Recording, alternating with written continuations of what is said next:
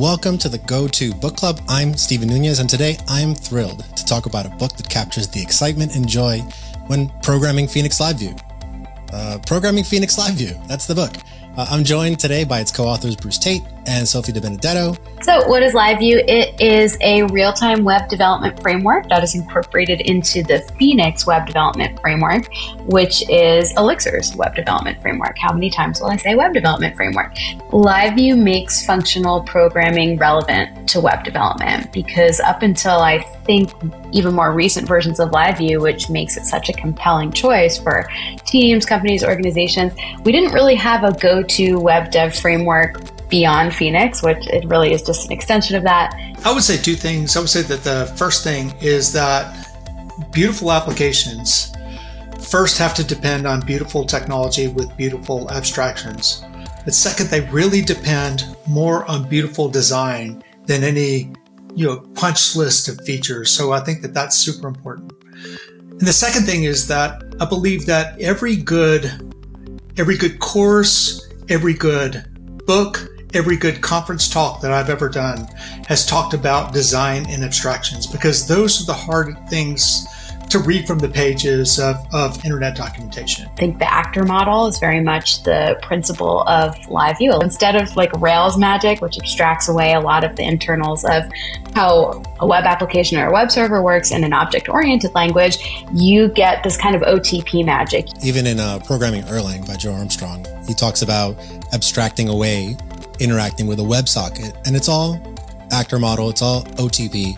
And when you look in, and dive into the internals of uh, live view, you get the same kind of feeling that it's like we're just interacting with the central state and then how we render it is a bit different. Yeah, I mean, generators, I think, are part of the compelling story of not just live view, but Phoenix in general. Um, they are opinionated, I think, but not too opinionated. We had functional composition in a functional language, and it was really beautiful.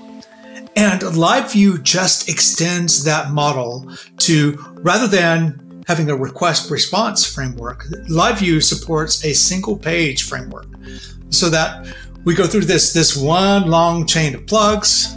We um, get to a point where we say, hey, this is a LiveView. And then Phoenix loads the page, returns the page, and there's a little bit of pre written JavaScript on that page that says establish a connection on a straight HTTP socket. And then from that point on, we're doing one of three things.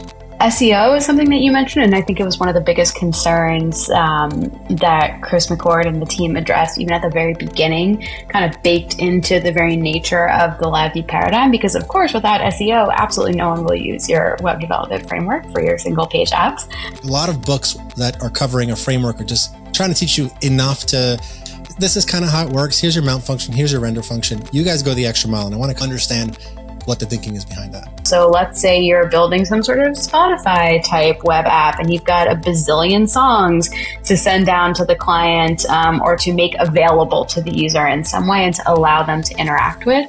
Um, LiveView always strove to minimize data transfer and make that communication as efficient as possible. What I love about this book is that it is building an application in action. I know I'm kind of like harkening to another book series, but uh, seeing it in motion, essentially, right? Let's build a thing, let's ideate, let's design, and kind of like go through it. Every time that I identify something that I wish Live LiveView could do, uh, it then will do within like a matter of days or weeks. At one level, Elixir is about reduce. And at another level, Elixir is all about what it is in every functional language. It's this ability to manage uncertainty. It's it's dealing with the worst word in a programmer's language, which is maybe.